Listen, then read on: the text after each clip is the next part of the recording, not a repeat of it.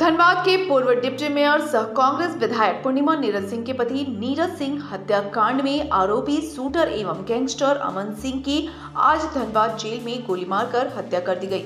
हत्या के बाद पिछले छह घंटे से धनबाद पुलिस एवं जिला प्रशासन की जाँच उपायुक्त वरुण रंजन एवं एसएसपी संजीव कुमार के नेतृत्व में जेल में चल रही है। इस क्रम में धनबाद पुलिस ने हत्या की घटना को अंजाम देने वाले अपराधी को चिन्हित कर लिया है एवं उसे जेल में ही पूछताछ कर रही है।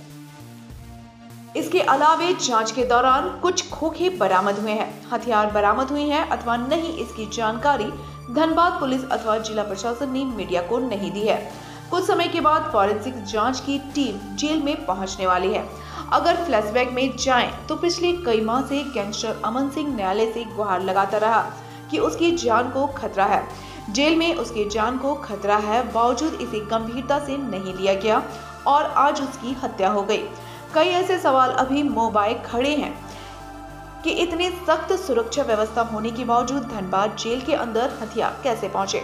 हालाँकि उपायुक्त ने इतना ज़रूर कहा कि इस हत्याकांड को अंजाम देने वाले और इसमें शामिल लोगों को बख्शा नहीं जाएगा। उन्होंने कहा कि जेल प्रशासन से जुड़े कोई पदाधिकारी अथवा कर्मी इसमें संलिप्त होंगे तो उन पर भी कड़ी कार्रवाई की जाएगी। वेरीफाई कर रहे हैं कि एक आदमी को आप बता रहे हैं उसका नाम जो अभी तक हाँ, आया। व्यक्ति बता रहे हैं ना, वाले का नाम जो रिपोर्ट की है उसमें कुछ शायद कुछ गड़बड़ी है जो नाम बताया है नाम वेरीफाई करेंगे तब हम आपको नाम वर्तमान में जो नाम ये वर्तमान में जो बंदा तीन बजे के आसपास ये खबर आई कि जेल में एक एक व्यक्ति की हत्या कर दी गई। उसमें हम लोग आकर के हम लोगों ने जाँच किया। पाया कि एक व्यक्ति की हत्या की गई है।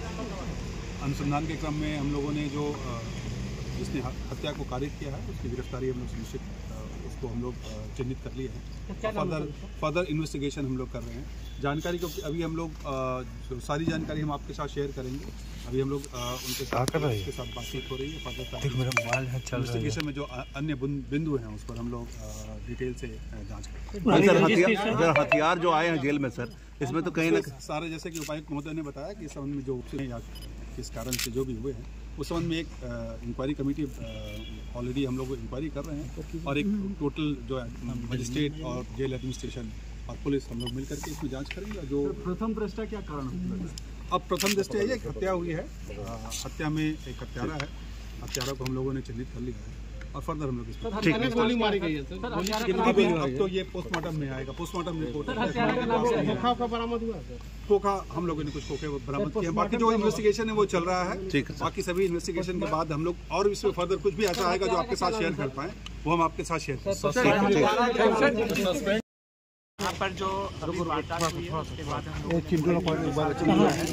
तो चलो हो रहा फ्रेम बन रहा है किसी से ले लेना। इसको नीचे करो। और सभी तरह के जो है जो भी प्रतिबंधित वस्तुएँ हैं उसकी जाँच की जा रही है। साथ ही साथ जो जिस व्यक्ति के द्वारा इस घटना को अंजाम दिया गया पुलिस ने उसकी शिनाख्त कर ली है और एफ़ आई आर करके आगे इन्वेस्टिगेशन की कार्रवाई की जा रही है। साथ ही साथ इस घटना के पूरे जाँच के लिए हम लोगों ने एक इंक्वायरी कमेटी जो है additional collector ADM law and order और सिटी एस पी की टीम हम लोगों ने बनाया है और साथ ही साथ मजिस्ट्रेट इंक्वायरी के लिए भी हम लोगों ने लिख दिया सर अभी तक जाँच में क्या कुछ मिला है सर?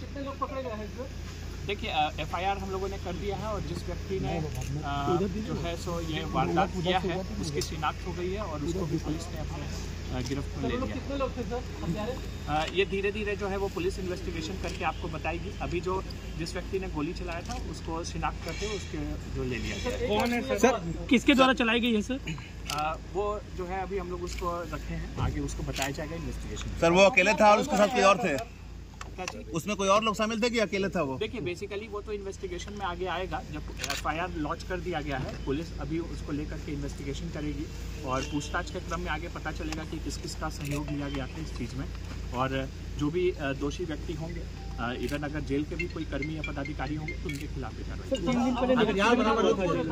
हथियार हाँ? ह- हथियार की खोज की जा रही है। हमारी टीम जो है वो पूरी तरह से सर्च कर रही है। सर खोखे बरामद हुए क्या? कितने खोखे बरामद हुए सर? कुछ एक खोखे बरामद हुए हैं। डिटेल्स जो आपको है वो पुलिस की टीम दे देगी। उनकी जो फॉरेंसिक टीम है वो सभी यहाँ पे आई हुई है। सभी जो है एविडेंसेस को जो है वो कलेक्ट किया गया है। सर तीन दिन पहले जेल में निरीक्षण भी हुआ था एक सप्ताह पहले हम लोगों ने जेल में रेड किया था और उस समय हम लोगों ने पूरी तरह से जो है वो जाँच भी किया था और हम लोगों ने इंश्योर किया था कि किसी भी तरह का कोई भी जो है सो प्रतिबंधित चीज़ नहीं मिले।